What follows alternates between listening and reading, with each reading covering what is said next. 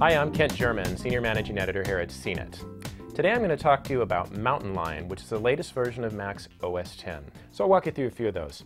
First is notifications. Well, on the Mac, you actually take your two fingers, place it on the end of the pad, and drag it over. And you'll see a notification. So I have one missed message there, and then you can just slide it back. Now we do have notes as well. The experience is about the same, but um, the bigger screen allows you a little more space. So you can see all your notes here on the side, can drop photos in, and you can have multiple notes. Uh, you got a lot more space for typing. So basically the same as what you're used to on iOS, but just here in OS 10. The next app we'll talk about is messaging. Now this replaces iChat. So you see the interface is a lot similar. You know, the, the messages appear on either side and the little bubbles. Bigger space, of course, means more. So you can see all your chats here on the side. You can drag in photos, you can drag in contacts, you can drag in videos, so and they will uh, all be sent. As long as you're online, you can chat with an iPhone, so an iPhone phone number, or you can use an email address if they're using an iPad or an iPod Touch. Next app is Reminders.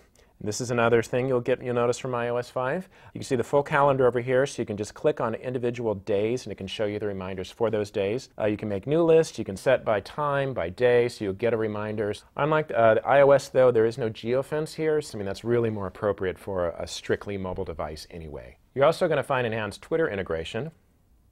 Click on that. Uh, it has a little notepad and there's a little paper clip and it puts it all in, so very easy to use. Nice to be able to have that. Few other things that come new with Mountain Lion. First is Share Sheets. That enables you to share links, photos directly from the app, so uh, saves a lot of steps. Uh, you also have uh, Game Center integration, so that's a lot deeper integration.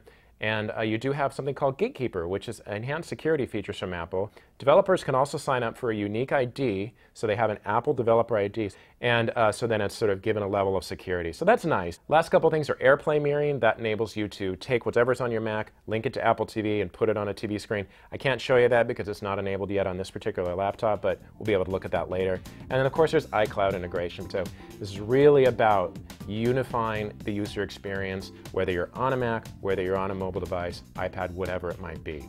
So that is developers' build of Mountain Lion, the latest version of Mac OS X.